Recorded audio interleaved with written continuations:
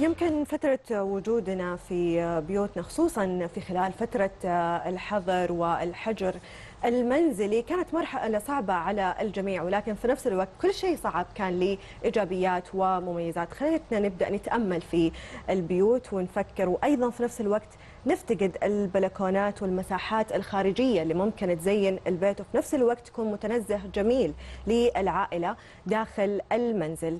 في حوارنا لليوم وتحديدا في هذه الفقرة راح نتخيل مع بعض شكل البيوت المستقبلية. يا ترى لوين رايحين في التصاميم الهندسية للبيوت السكنية مع ضيفي المهندس المعماري أحمد البيك. منورنا أستاذ أحمد. الله يخليك نور أهله. بداية ما شاء الله تبارك الله واضح من حساباتك على مواقع التواصل الاجتماعي أنك جدا مهتم بالهندسة المعمارية. هل أقدر أقول اليوم بأنك عاشق معماري؟ والله هو العشق من زمان مو من دحين يعني من يمكن من أيام وأنا عمري سبع سنين يعني القصة بدأت من حدود السبع سنوات وأنا عمري سبع سنين. كانت الوالدة الله يطول في عمرها والوالد بيجيبوا لنا الليجو نلعب بالليجو ونشتغل عليها. فكنت أسوي لك المباني يعني زي ناطحات السحاب. ما شاء الله شوية شوية يعني كبرت في السن يعني كبرت في العمر 10 سنين بدأنا نلعب بالأشرطة حقت الكاسيت. فصرت أسوي بيها ناطحات سحاب بشكل فظيع عارفة؟ لين كنت أوصلها لين السقف. فهذا كله بتخيل يعني هذا كله تأثير كان والوالدة كانت بتشوفني. اجلس بالثمانية تسعة ساعات فبتقول لي أنت حتصير مهندس معماري. طيب فمن هنا بدأ عشقي للهندسة المعمارية وبدأ إيش؟ خلاص توجهي للهندسة المعمارية. جميل جدا. طب برأيك كيف ممكن يتغير النمط العمراني في المنازل؟ مستقبلا من حيث الشكل الحجم الخامات؟ أوكي. إيش راح نشوف؟ طيب هو في الأساس يعني لو تطالع خلينا نتكلم على جدة القديمة.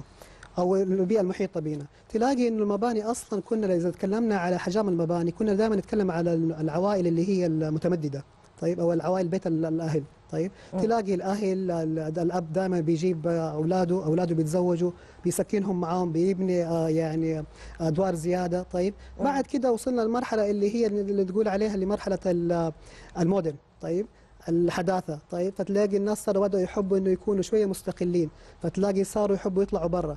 هنا صارت لقيتي إنه البيوت بدأت تصغر. بدل ما كانت البيوت كبيرة لا صرنا بيوت صغيرة وبدأنا نتكلم على بيوت أصغر. طيب إذا تكلمتي من ناحية الخامات الخامات بدأت تتغير معنا كل شوية تلاقي الخامات بتطلع أشياء جديدة. من ضمنها ممكن دحين نتكلم على خليني كده بسرعة على عجالة أقول لك على ال industrial style. طيب اللي بيتكلموا اللي هو الصناعي الستايل الصناعي.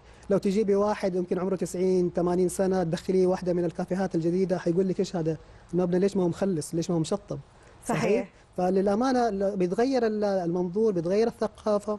ثقافة المجتمع. طيب وبينعكس على الحقيقة على التصاميم حقتنا. صحيح بس ما لاحظت في فترة الحظر يمكن كثير من الناس بدأت تستوعب بيوتها وبدت تغير في الديكورات الموجودة وبدت تخصص أيضا أماكن للجلسات الخارجية مع إن الأجواء ما تسمح يمكن هذه الفترة صحيح. وفي الصيف ولكن بالليل يعني ممكن تكون جلسة خارجية. حتى يعني بالدليل كل معارض الأثاث كانت زحمة. فعليا صحيح. في هذه الفترة فكيف صار هذا التغيير معنا؟ هو للأمانة صار تغيير كبير يعني لو تلاحظي الفترة الماضية برضه أنا حرجع مرة ثانية خليني كده أرجع برضه المباني القديمة كانت فيها dynamic عارفة كانت كلها حركة ماشي. وكان فيها زي ما نتكلم على ال courtyard في شغلات فيها courtyard إذا تكلمنا عن مباني الرياض طيب لا لكن الآن لما تيجي تشوف تلاقي إنه المباني كلها صارت boxes طيب. وما عندك لا بلكونات ولو في بلكونات غير مستخدمة.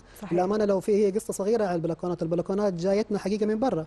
طيب من يعني نتكلم الطراز الإيطالي طيب وجات على يعني الحضارة المصرية وجات برضه على الحضارة اللي هي الشامية. هناك مشيت لكن عندنا ما مشيت. ليش؟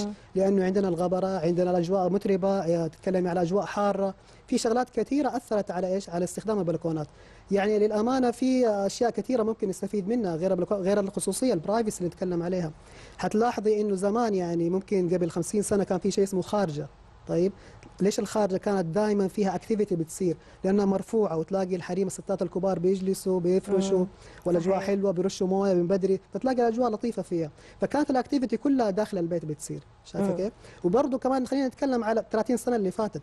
كانت كل ال activity في البيت بتصير. طيب؟ مم. يعني الضامنة كانوا بيلعبوا تلاقيهم بيلعبوا كيرم الشغلات هذه كلها رجعت في خلال ال- الحظر. وتلاقي الناس كلهم رجعوا لها.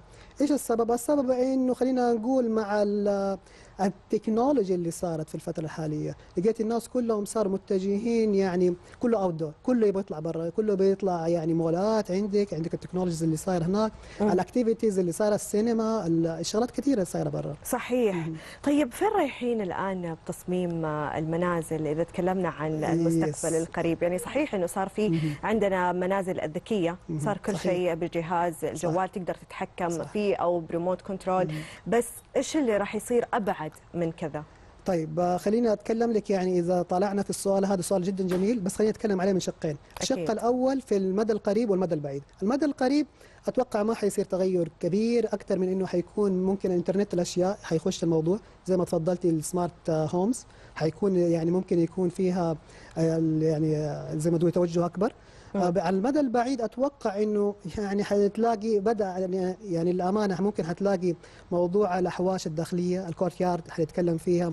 آه، ال activities اللي حتصير يعني أكثر من كثير من الناس الآن بدأوا يحولوا زي ما تفضلتي يحولوا فراغات عندهم غير مستغلة صوالينهم يحولوها لألعاب يعني آه، يعني مكان ألعاب وشغلات زي كذا.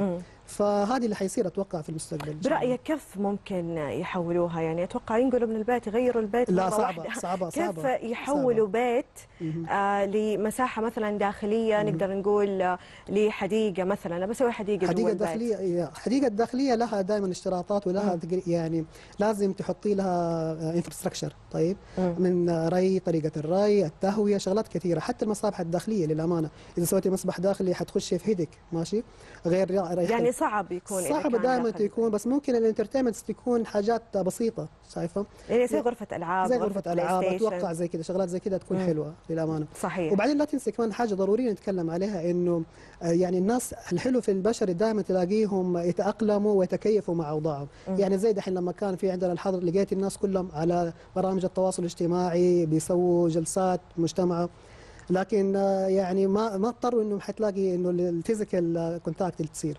صحيح يعني أنا أتوقع عندي في البيت فرفيرة وعندي تنس طاولة يا سلام. بلياردو. يا سلام.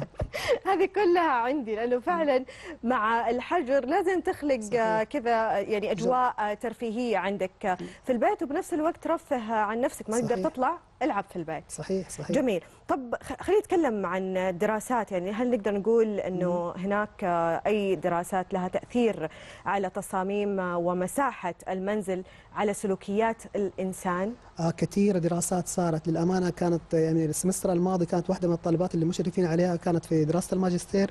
كانت بتشوف تأثير الألوان على ال students في المدارس. طيب مم. إيش تأثير اللون الأصفر؟ إيش تأثير اللون الأحمر؟ وشغلات زي كذا كثير. وكمان لا تنسي كمان لو تكلمنا على تأثير البيئة في يعني من ناخذ من الأدب ال- الأدب ال- يعني الأدب العربي. ال- اللي راح الشاعر اللي طلع عند الخليفة وقال له أنت كالكلب وإلى آخر ال- الأبيات. قالوا له خذهم ودوه واحدة من القصور اللي عندي لأنه جاي من البادية. لما جاء حطه في يعني في القصر أتغير آه، شعره شخصيته شع- شعره تغير طيب؟ نفسه. صحيح. لو تكلمنا كمان خلينا نتكلم كمان بالبيئة المحيطة بين المساجد طيب؟ تأثير المساجد القباب اللي في المساجد طيب؟ إيش فكرة المسجد؟ إيش فكرة القب القبة؟ القبة كانوا بيقول لك إنه عشان الصوت توزيع الصوت طلعت الفكرة. طيب لما جينا دحين في الوضع الحالي صار مو توزيع للصوت صار عندك انعكاسات للصوت. طيب إيش الفكرة من القبة؟ القبة طلعت في الأخير هي جايتنا من حضارات آه، سابقة طيب؟ مم. ومن معابد ومن آه، يعني كنائس سابقة. إيش الفكرة؟ هي الاتصال الروحي طيب؟ لما تخشي مسجد سبحان القبة كده كبيرة صحيح. تحسي بإيش؟ بالتواضع طيب؟ صحيح. فهذه هي الفكرة من يعني انعكاس الفراغات على ليش؟ الشخص. جميل جدا. طب قصتك آه، مع الهندسة ما شاء الله تبارك الله امتدت لجانب التوثيق المعماري للمباني صحيح. التاريخية. صحيح. فخلينا نتكلم شوي عن هذا الجانب. طيب المباني التاريخية للأمانة حاجة يعني حب فظيع للمباني التاريخية خصوصا إذا كان عندك جانبين منها الجانب المادي والجانب اللي خلينا نقول ال- المعنوي.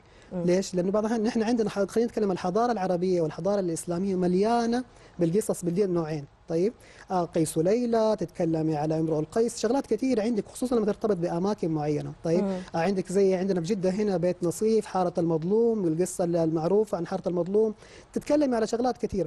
فهذه الأشياء يعني للأمانة آه، لاحظنا إنه مباني كثير سواء في في جدة أو في الرياض في العلا في بتتهد مع مرور الوقت من غير documentation لها. طيب وثائق لها. فاضطرينا يعني بندور أبسط طريقة أو أسرع طريقة عشان نقدر نحافظ على هذه المباني. فطلعت عندنا زي اللي شايفين في عندنا في في ال screen آه، اللي هو ال laser scanning تقنية ال laser scanning إيش بتعمل؟ بتعمل scanning لل building في وقت قياسي بتطلع لك drawings جاهزة تقدر تستفيدي منها بعد كده في أي ترميمات أو أي أعمال يعني آه، توثيقية. ما شاء الله تبارك الله. يعني كأنك تشتغل على 3 D Max 3 D Max لا نحن بنشتغل على حاجة اسمها 3 D Revit طيب ال BIM آه yes وصلنا لمرحلة 3 D Max للأسف إنه ما هو ما بيعطيكي object ما فيها information. ماشي؟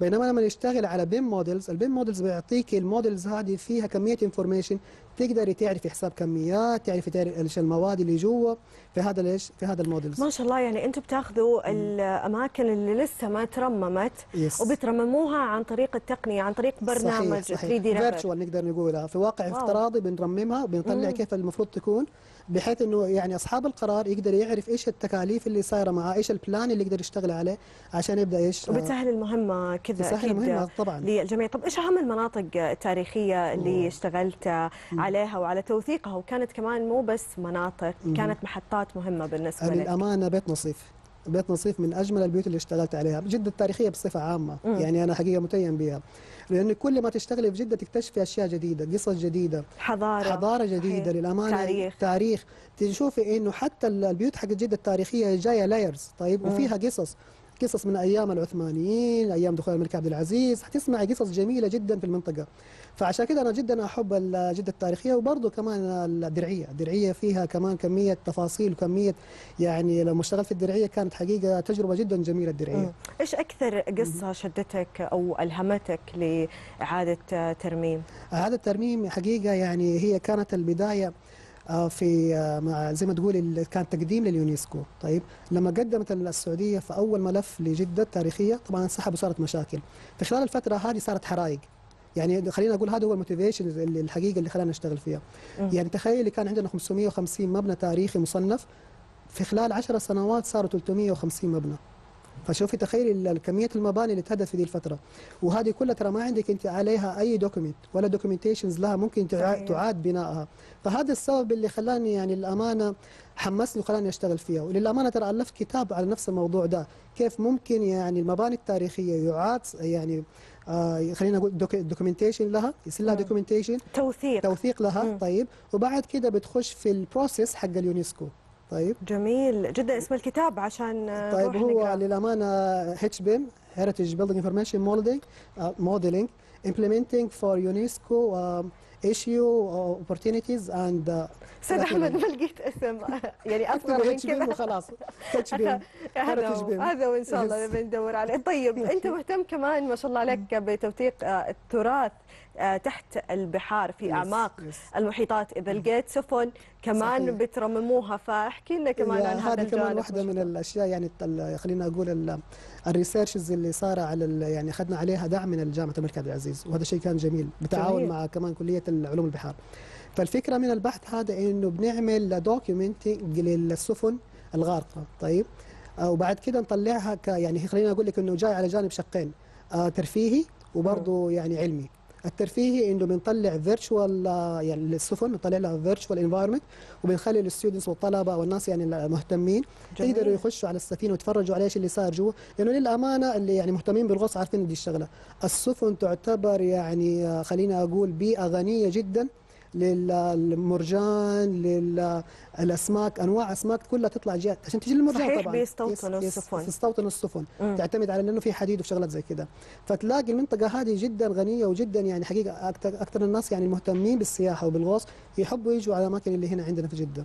حلو. في ال Red Sea بصفة عامة. مم. فهذه هي الفكرة. بعد كده نحن من الجانب العلمي إنه بناخذ السفن هذه بنعمل لها دراسات وتحليل analysis بنعرف قديش معدل انحلال السفينة.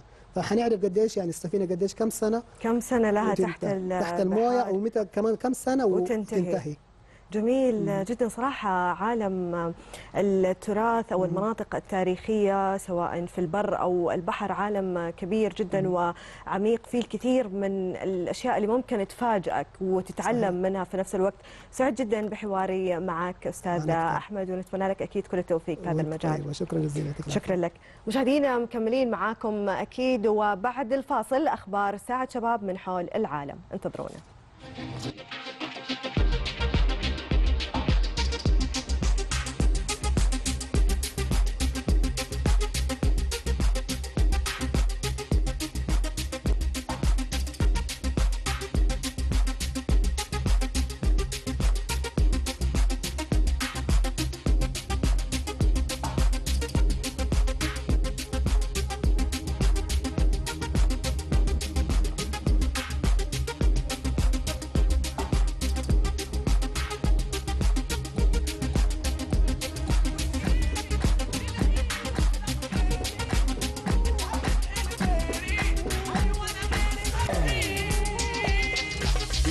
الجيران شغلة لنا عنايا وأنا في المكان في خلق حواليا مش عايز حد ياخد باله من اللي أنا فيه. شفت القمر سهرني لياليا وهموت عليك رب العالم بيا سيب شباكك مفتوح ليه؟